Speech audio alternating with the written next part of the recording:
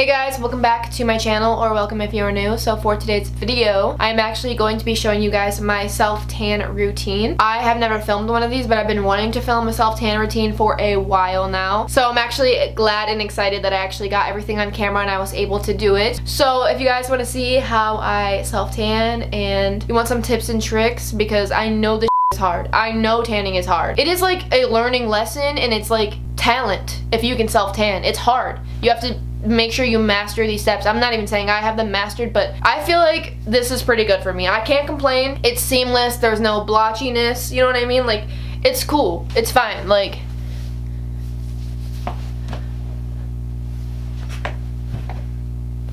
like it's cool, whatever. My ankles, nothing's blotchy, so that's, that's honestly more than I could ask for. I hope this helps you guys a little bit and helps you guys with your tan routine. I hope you guys look sexy. I hope you guys feel great and if you have any tips that I missed or any techniques that I missed, um, please let me know. Send me a message on Instagram and I'll message you guys back. I would love to hear any tips that you guys have as well. So, or leave them in the comments and I will just comment back to you guys.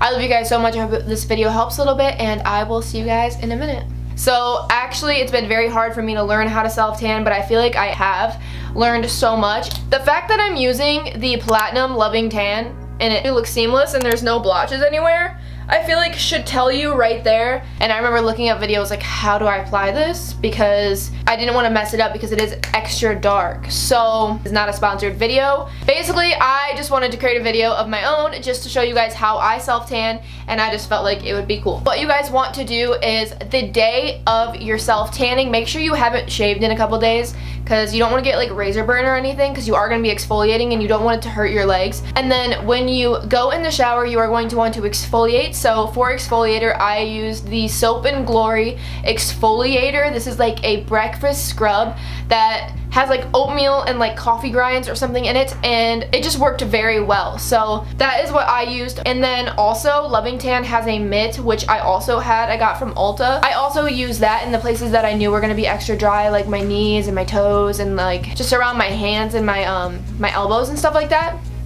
um, I feel like I have pretty normal skin, it's not too dry, but I just like over excess exfoliate. You probably don't have to do that, don't hurt yourself. Um, I just like to do it. So I just think it will give me the most like seamless tan and I was like actually scared because I was like what if I do this whole video and my tan comes out horrible and then I have to like literally not use it. So I want to make sure I did it like perfectly so I did exfoliate to the point where it was hurting yesterday. It's fine, it's fine, it's fine. After you're done exfoliating you want to um, shave your legs, okay? I don't think I need to tell you how to shave your legs. I'm pretty sure you know how to shave your legs and if you don't, um, I don't think you need to shave your legs if you don't like to shave your legs, but Shaving your legs does make it a lot more seamless. So when you get out of the shower, you want to use lotion, okay? You want to lotion your whole body. Your whole entire, from the neck down. Don't put it on your face, use your normal moisturizer. I don't even put tan on my face, so it doesn't even matter. Moisturize your whole entire body from the neck down, okay? All the way down to your toes. And then when you get to your toes, you want to lather this boy on. You want to lather as much as possible. So you want to have it just like, well, I mean, don't have it like leaking off, but I was slipping around on my floor. I like was like, woof like I almost fell a few times because my feet were so slippery. But I did make it a lot thicker on my toes and on my ankles. That's why my ankles aren't all blotchy. That's why my knees aren't all blotchy and that's why my elbows aren't either. And my hands aren't or nothing like that. So nothing on my stomach is blotchy either. So lather it up as much as you can, okay? Only on the areas that cling on. So any any parts of your body that have like wrinkles, so like your knuckles, the part on your toes that's kind of like the knuckle of your toe, your knees, your elbows, things like that. You want to make sure you lather those areas because the drier, the more it's going to cling on, and the more uh, cracks you have, the more it's going to cling on. So after you get your lotion all over your body, you are just going to start applying the tan. So I did film this part. I will just insert the clip of me applying my tan, and then I guess we'll be right back. I don't really know. Okay? So I just moisturized my whole body. Um, now I'm going to be applying the tan. So I am going to be using the Bondi Sands um, tan mitt and I'm going to be using the Loving Tan Platinum Ultimate Self Tanning Mousse if you are very confident with self -tan tanning, which I am, which I'm not. I'm just showing you my routine. Um, you should use this one, but I just use it because it is the darkest and I'm like, what's the point if it's just gonna wash off in a couple days, you know? I am not the most experienced, but this is the routine and I think it comes out fine. So take off all of your jewelry. I just took off my necklace. Um, and I have all of my rings already off. Those I took off in the bathroom. I'm just gonna go ahead and I'm gonna start tanning. I am like the most pale you could possibly, I guess I'm not, it, it doesn't look as bad on camera, but in person, like, are you kidding? So I've been doing makeup and my shades, like the light, even the lightest shades that I have are becoming too dark for my face. So that's when I know, like I'm like, I need to self-tan because all of my products are for the skin tone that I have with self-tanner. So I'm just gonna start applying this um, and show you guys basically what I do. So I'm just gonna add a couple pumps on here and I'm just gonna start at my arms. I don't know if I usually do this. Um, I just heard that I should do this, so I'm doing it. So shake it up a little bit, make sure like, cause you know you haven't used it in a minute. And I'm just gonna go ahead and start going in.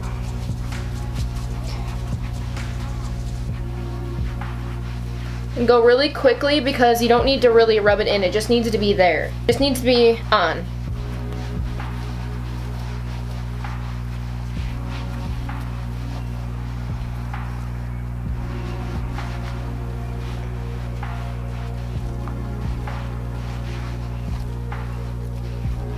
So I already have it like already on my whole arm. You don't want to keep rubbing it in because if you keep rubbing it in, you're gonna rub it off. I don't know if you guys have tried that, but it will start to like peel off of your skin. And very lightly, I'm not pressing too hard.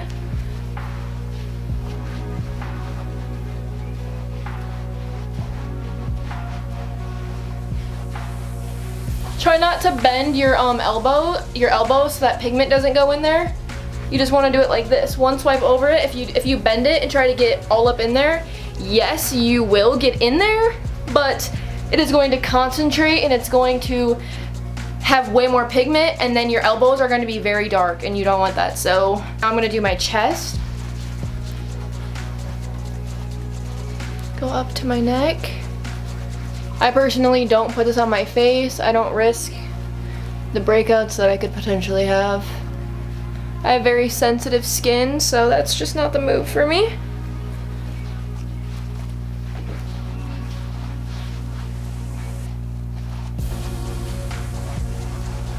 You don't want to add layers on top of your arm, so once your arm's already done, just leave it.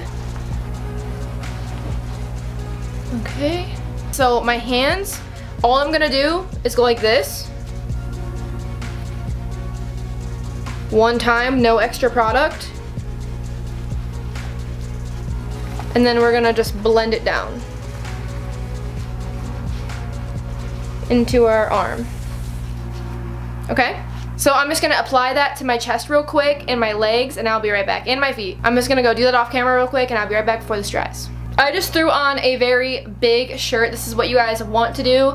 Grab a shirt that's as big as possible and just put that boy on, okay? If you need to find like very loose pajama shorts or like uh, I would stay away from pants. Just find any shorts that are as loose as possible. Don't put anything tight on it, it will rub the tan off. It's very fresh. Like I still feel like it's very sticky. But this is what it looks like. It's very smooth as you can tell like by my hands and my wrists and stuff. This is this is extreme. Like this is the darkest of the dark. So but the moisturizer will dim it out. So if my if my skin was drier it would cling on to like my elbows and stuff a lot more. But since I added moisturizer and things like I'm just gonna keep it on longer I'm gonna sleep in it just to get the maximum strength. Since I did use moisturizer moisturizer is going to make it not as strong. But I can't even explain to you how good my hands look. I just went over them one time and don't go like this and get in the crevices.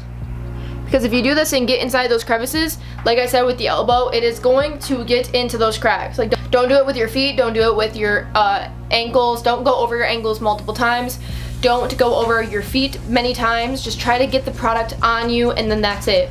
Don't go over your knees many times. Don't be bending your knee trying to get it in the cracks and things because that's when your knee is going to be darker than everything else. Apply it. Don't be making any like fists or anything to try to get in those cracks. It's going to be extremely dark and you're going over it multiple times so you're also rubbing the product everywhere and it's just, it needs to be just laid there and then left with, okay?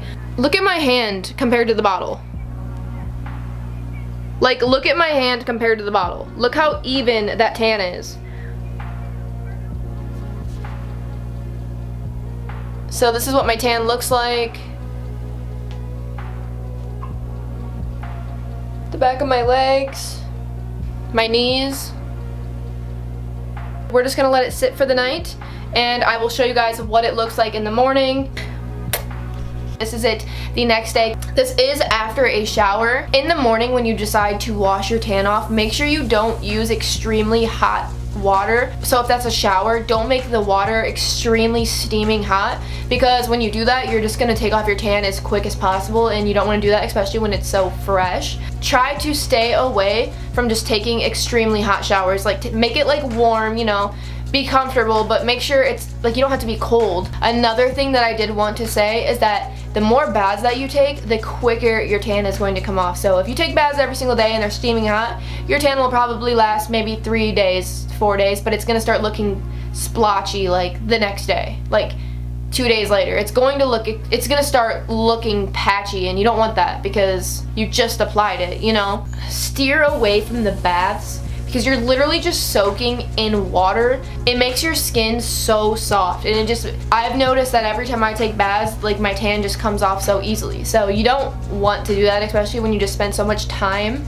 applying a tan. Moisturize daily. When you get out of the shower, make sure you're moisturizing, you know. The more you wash your face, the quicker it's going to come off your face. And I wash my face all the time, every single day. So my tan does not last on my face because like face washes have like salicylic acid and stuff like that. It just takes off your tan like quickly. It's really just all learning. If you've never done self-tan before, you're gonna realize like everyone's body is different. So um, it's good to like hear other people's routines, but then again, you are just gonna probably adjust to your own routine and create your own, something that works best for you and your body. Everyone's body's different, everyone's skin's different. If you don't want to spend money on like fancy exfoliators and stuff, you can go to the grocery store and you can buy raw cane sugar, which is like those like squared sugar pieces, you know what I mean? You can go to the grocery store and buy that in bulk, like a big bag, like maybe a bag or two, put them in a jar, and when you go to the shower, I like to bathe the night before,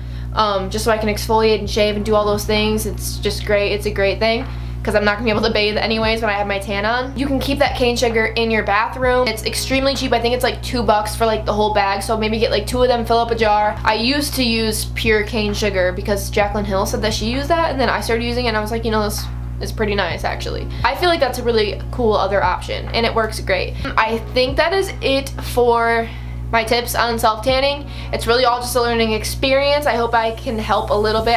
If you guys have any questions, leave a comment down below and I can answer them in the comments. Yeah, so I hope you guys enjoyed this video. I'm so happy that I'm tan. I just love it. It's just the best. Like, honestly, I am a new person when I tan. Like, actually, like, I, I am no longer the person I was yesterday. Like, that person was, like, I, I seriously would go in public and be like, no, I need a tan. Like I was wearing shorts and I was like, yo.